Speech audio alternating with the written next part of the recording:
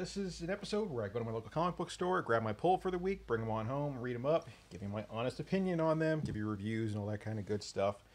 Um, so, like always, there can and will be spoilers. So if you don't want spoilers, make sure you back out now. Come back later, check out this video when you're done reading your own books. Or stick around. I usually read some kind of obscure books a lot of people not have heard of. And, you know, I like to show people new stuff, see what's out there in the world other than superheroes. all right, so first up, The Ballad of Sang, number two. Uh, whoever's been watching my videos knows I picked this up, oh, I don't know, it was a month ago, I guess, today. Um, great story. I'm having a lot of fun with this. Uh, we have our, our little hero here named Sang, and Sang was a trained assassin.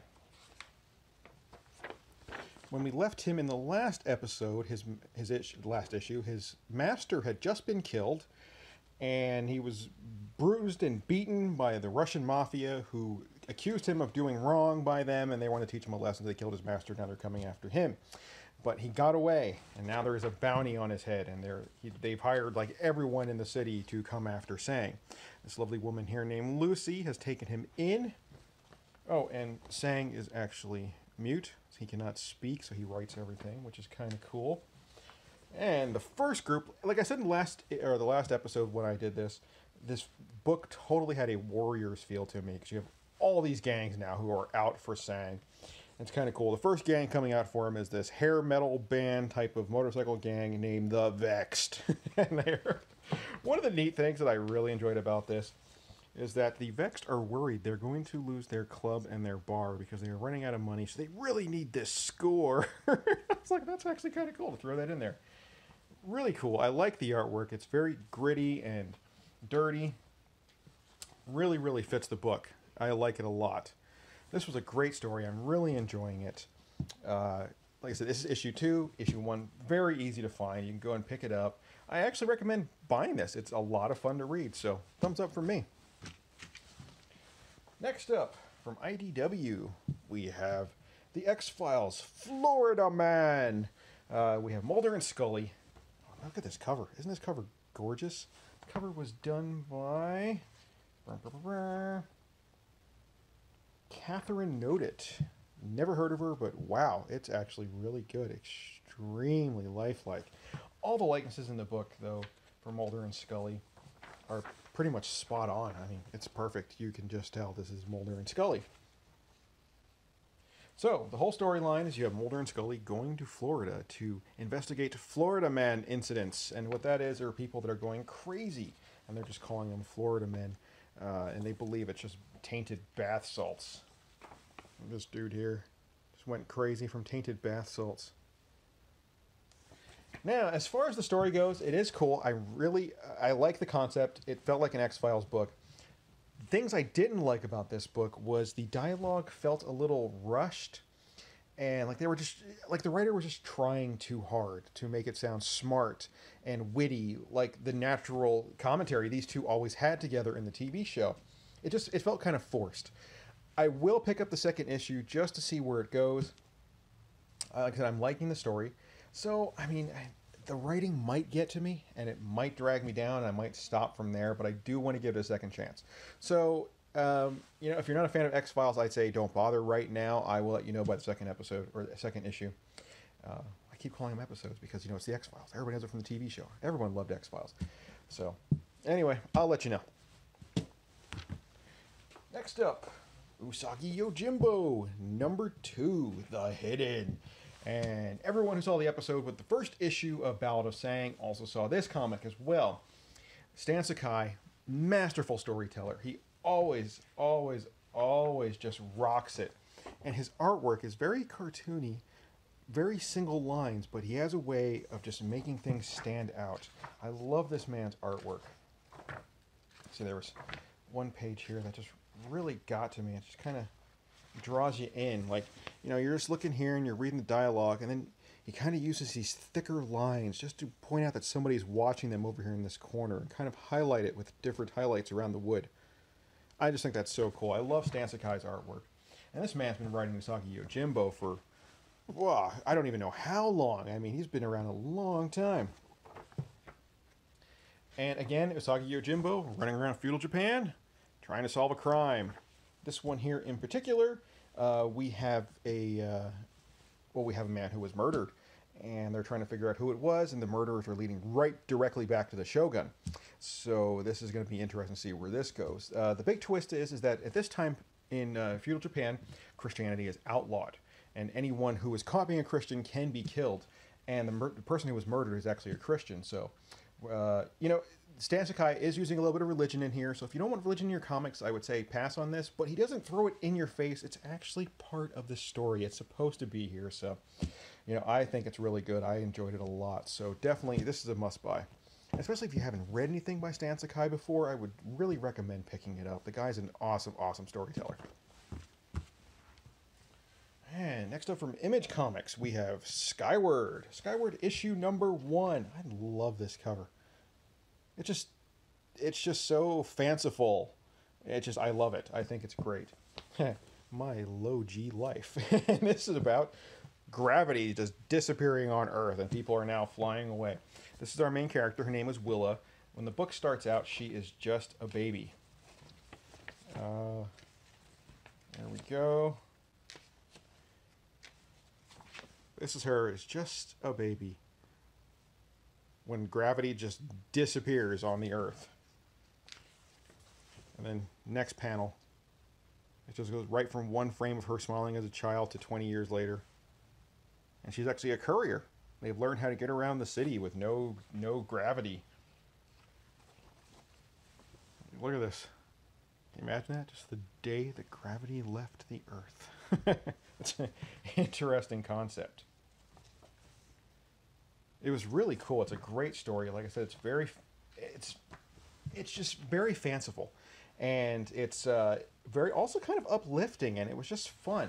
And by the time you get to the end, you know, her dad is still with her. She actually lost her mom during the great floating away, as I want to call it.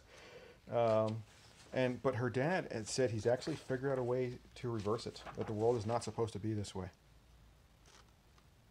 And he's figured out how to fix it. So here's the cover for issue two. Gorgeous cover again. I'm actually looking really forward to getting that. Great book, fun read. It was just it was enjoyable. I like the groundwork that's being laid out for this story. It's really unique story. So that was a lot of fun. I'm gonna grab this again. I think everybody should grab that. All right. Now, technically, not a new book for this week. I believe this was last. I don't even know when, but I wanted to grab this book because I saw issue two today, and I'm like, "What? A Crow book? I haven't seen a Crow book in years." I love the Crow. The Crow is awesome. I love James O'Barr. I love the original Crow story. I've loved several of the stories afterwards. The guy is awesome, and it looks like for the new IDW series, he's handed over the reins. This was a really interesting story to me.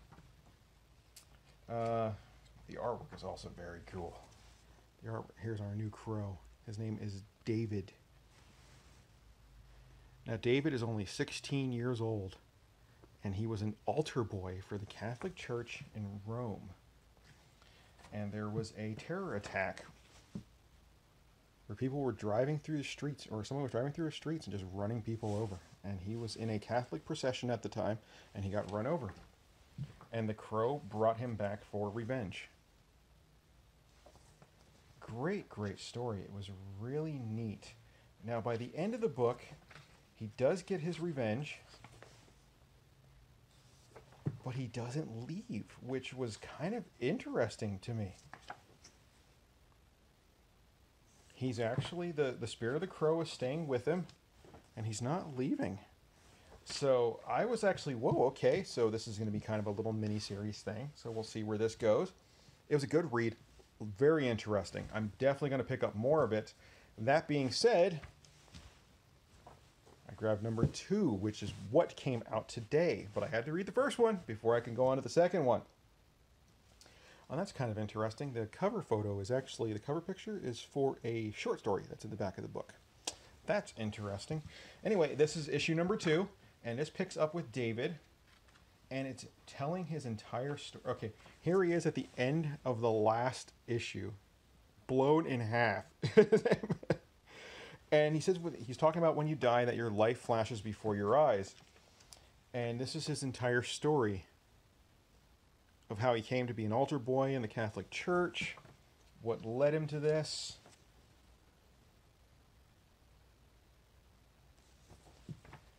Uh, this shot here reminded me a lot of John Romita Jr. I don't know why. And eventually, after the explosion, leads himself to dragging himself over to a roll of duct tape and standing up and walking away. Apparently, he still has work to do. Really, really interesting story. It- like I said, it was also uh, kind of neat to see someone else's take on the crow other than James O'Barr's. So, good read. A lot of fun. I really enjoyed this. Oh, and this backup story, too. The mini series or the little shorts in the back of the book. Each one is really cool. They're only like three pages long, really self contained little stories. A lot of fun to read. So I'm going to be picking this up, continuing until the series is over or the mini series is over. Really good. Definitely worth reading. And next book on our list is X Men Gold, number 26. This is Till Death Do Us Part, Part 1. And this is leading us into the Kitty Pryde and Colossus wedding, which is just, it's a long time in the making. You know, these two should have been married a long time ago. I love this that it starts off with her in the beginning of the book reminiscing about the first time she met him. It's just so awesome. And then it flashes to current day, and they are hunting down Mesmero. Haha. Now, this portion of the book felt a little rushed. It's like they just wanted to wrap it up nice and neat and tidy. You know, they find Mesmero, put him in the air, punch him, capture him, yada yada. You know, storm blasts him with some lightning to knock him out. Now, this got my attention. This was really cool. Pachow. Looks like Storm got Stormcaster back with the powers of Thor. Look at that. I mean, not all the powers of Thor when she's holding Stormcaster, but she does have some divine power going on now. That is cool. I love seeing that. Rachel over here is actually starting to go a little nuts, going back to her little hound form. The big points of the book were Nightcrawler throwing a bachelor party for Peter. oh, yeah, that's awesome. So they are in Las Vegas at a bachelor party. But then Peter gets attacked by the AI Sentinel and captured and drug off. For what ends, we do not know until the next issue. Awesome. This was actually a really good read. Like I said, the first couple pages felt a little rushed because like they were just trying to wrap up the whole Mesmero storyline to get into the Peter and Kitty Pryde storyline. So I, figured it probably could have waited another issue or they could have wrapped it up some other way. But hey, it's it works. So not going to complain. It was a good read. It's X Men Gold. You know, it's one of the better X Men titles out now. So I would say definitely pick this up. It's good read. Um, you know, and like I said last week, because of the bajillion copies of Action Comics 1000 this week that nobody wanted to compete with, we are having really light on the new comic books. But the one thing you probably didn't see on the list so far is Action Comics 1000, which I had not intended on picking up. I really, I've never read Action Comics. I've never read a single one in my life. And I, was like, okay, you know, 10, 10 different covers, whatever. But then I went to my LCS. and my LCS had this the Jim Lee Tour Edition variant cover. How could you pa- I could not pass this up.